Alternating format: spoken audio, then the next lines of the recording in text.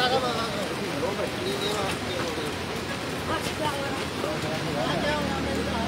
唔好。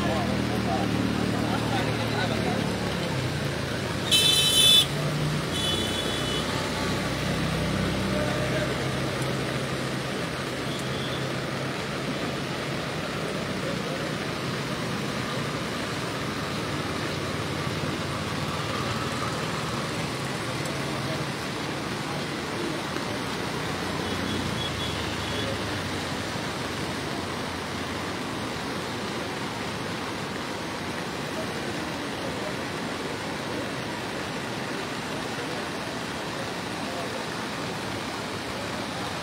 Thank you.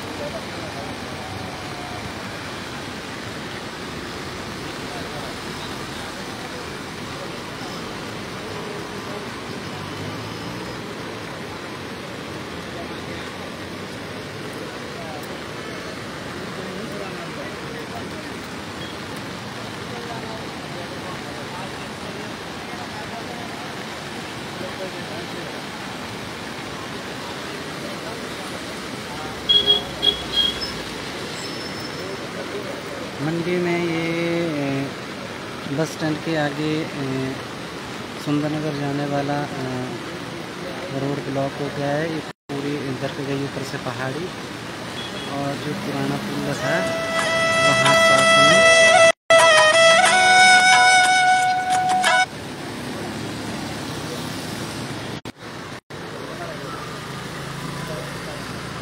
और साथ ही साथ ये जो मंडी का पुराना पुल था यहाँ पर जो किंग सिटी विश्वकर्मा जो मंदिर है, उसके ऊपर वाले पूरी पहाड़ी दर कर ये ऊपर के मकानों को भी बहुत ही खतरा है।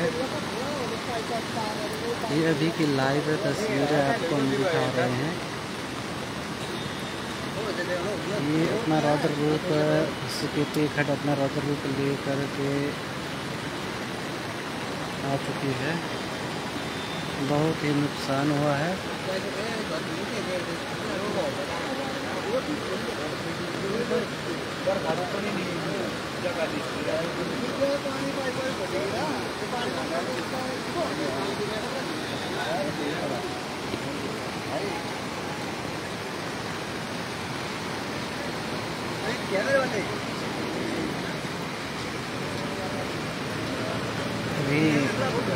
बारिश भी बहुत तेज़ चली हुई है तो इस वजह से पीडब्ल्यू विभाग भी अभी तक काम कर नहीं पा रहा है।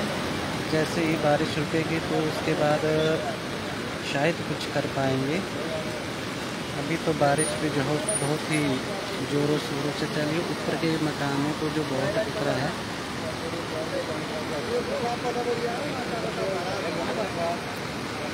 जो किंग सिटी वाला है, वो साइड से थोड़ा डैमेज हो गया है उनका साइड साइड से।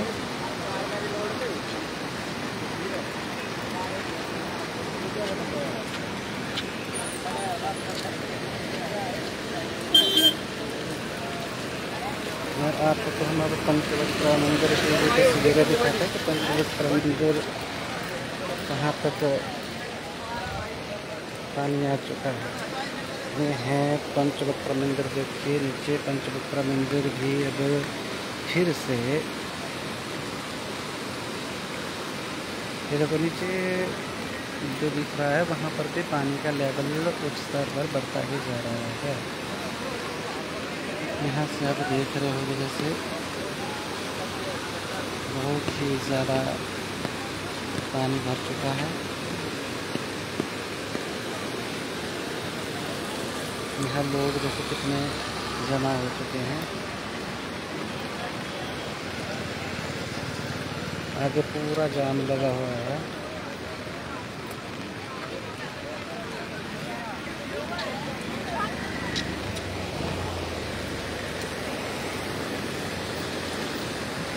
ऊपर से थोड़ा थोड़ा आता जा रहा है, ऊपर देखिए वो जो तीन सिटी वाला है वहाँ से थोड़ा थोड़ा स्लाइड होता जा रहा है।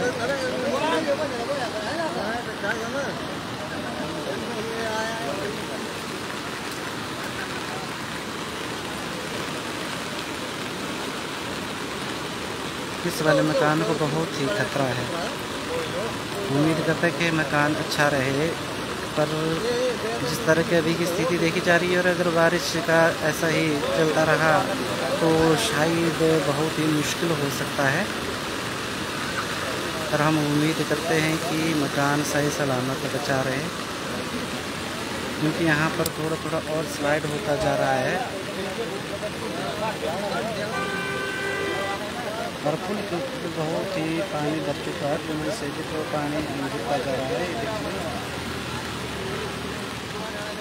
और वो वाला है, आगे जहाँ पर जिस भी लगे, यहाँ से आगे जो प्रशासन की गाड़ी लगी हुई है, यहाँ से आगे भी पूरा रास्ता बंद है, जो सुंदरनगर, शिमला के लिए जाने वाला रास्ता है, वो भी बंद है।